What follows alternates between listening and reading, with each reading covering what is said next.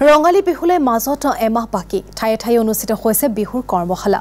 যোৰহাট জিলাৰ বৰশোলাৰ ইকৰাণিত প্ৰস্তুতি আৰম্ভ হৈছে আৰু গাঁওখনৰ শিশু কিশোৰ যুৱক যুৱতী সকলোৱে একত্ৰিত হৈ বিহু নাচৰ আখৰাত ব্যস্ত হৈ পৰিছে।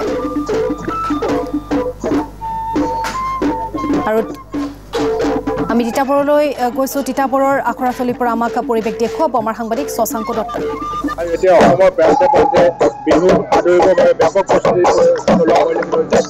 এই আমি দেখুৱাব বিচাৰিছোঁ তিতাবৰ ইকৰণে এটা পৰিৱেশ কেমেৰা পাৰ্চন বেছি হৈছে দেখুৱাব। আৰু ইকৰণে গাঁওবাসীয়ে ৰঙালী বিহু বাবে ইতিমধ্যে বিহু আখৰা আৰম্ভ কৰিছে।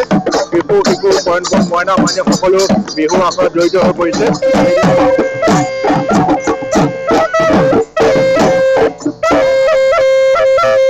Woo!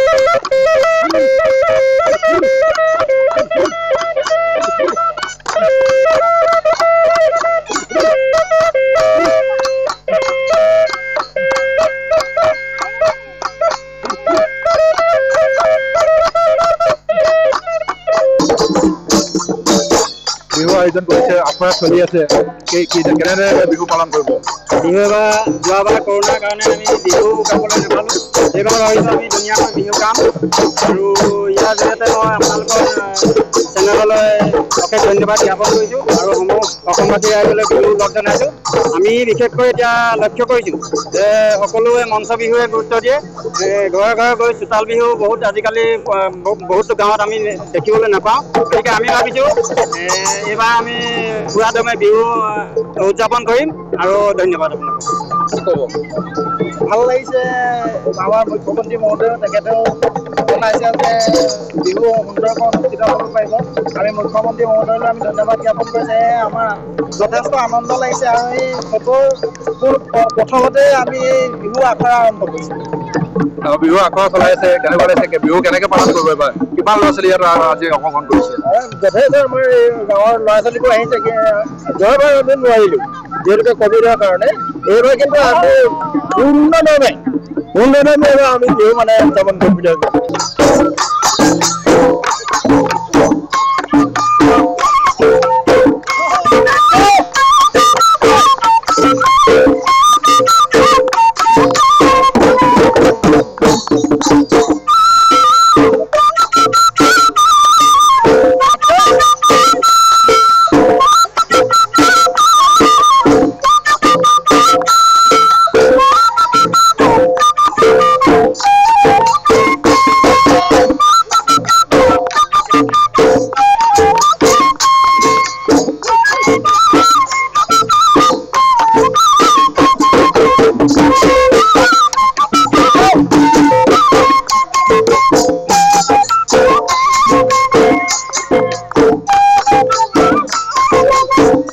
বুলি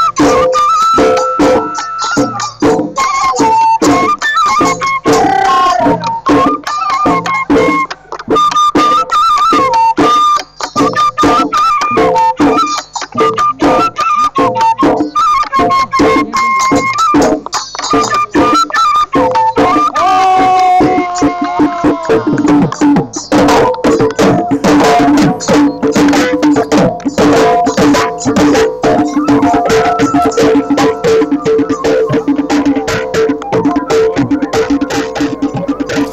হয় ধন্যবাদ জ্ঞাপন কৰিছোঁ শশাংক দত্ত